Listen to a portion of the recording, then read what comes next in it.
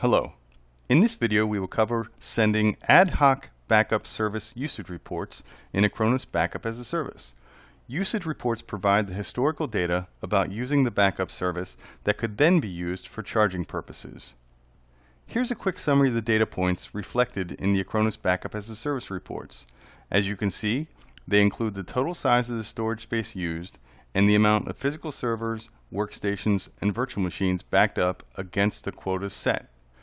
You'll be able to see the statistics for each of the end user companies that you are working with, as well as the details on all of their backup accounts. In order to send an ad hoc usage report, you open the Reports section of the Acronis Backup as a Service by clicking on the Reports button on the left side pane. Press Ad Hoc at the top, and set the period of time you would like to get the usage report for.